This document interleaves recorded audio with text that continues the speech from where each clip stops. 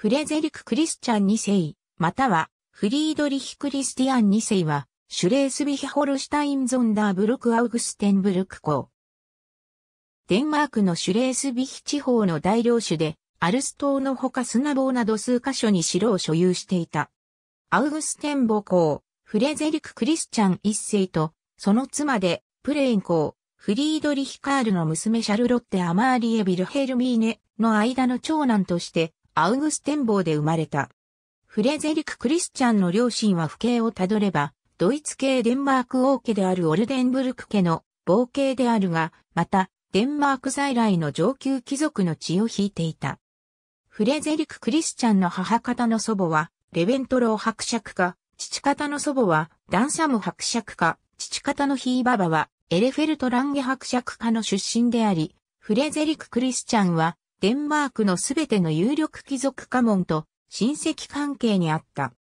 しかし彼の先祖が王族女性、ドイツの小諸公の娘、そして本家筋のオルデンブルク王家と通婚関係を結んで、小図、伯爵程度の家柄の血筋が濃いことは、王侯貴族の世界では不遇な立場であると言えた。アウグステンブルク家はランクとしては、ドイツの小諸公相当以下の貴族家紋とみなされていた。しかし1786年、20歳のフレゼリク・クリスチャンは、デンマークのカロリーネ・マティルデ王妃の娘で、14歳のデンマーク・ノルウェー王女ルイーセ・アウグスタと結婚する栄誉に恵まれた。ルイーセ・アウグスタは、カロリーネ王妃が精神以上のデンマーク王クリスチャン7世と結婚している間に産んだ娘だが、彼女の実の父親が国王寺で事実上の摂政であったヨハン・フリードリヒ、ストルーエンセであることは公然の秘密であった。この結婚はデンマーク宰相、アンドレアス・ペーター・ベルンシュトルフ伯爵が表向きは国王の実施とされているが、実際は王妃が不定で設けた非政治に過ぎないルイーセ・アウグスタをうまく処遇するために仕組んだ巧妙な政略結婚だった。ルイーセの男系子孫が仮に王位を継ぐことになっても、その子孫たちがデンマーク王家の血縁者でないということにならないために、最小は反王族と言える立場にあるアウグステンボー公爵家の世継ぎ公子をルイーセの夫に選んだのである。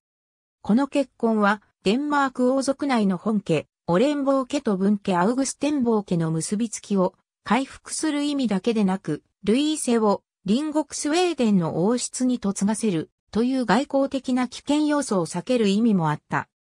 二人の結婚の内諾は1780年に成立し、1785年の春にフレゼリック・クリスチャンはコッペンハーゲン宮廷に迎えられ、正式に婚約が発表された後、1786年5月27日にクリスチャンス坊城で結婚式が執り行われた。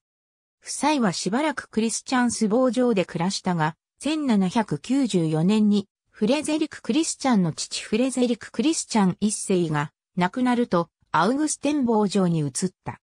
フレゼリク・クリスチャンとルイーセ王女の間には3人の子供が生まれた。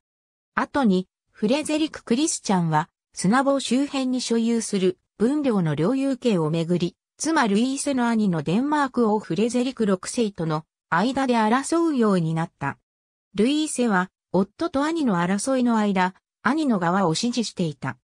1810年、フレゼリク・クリスチャンの弟、カール・アウグストが、子供のないスウェーデン王カール13世の養子氏に迎えられ、スウェーデン王太子となったが、間もなく急死した。フレゼリク・クリスチャンは、自分が弟に代わって、スウェーデンの王位継承者に指名されるよう運動したが、実現しなかった。ありがとうございます。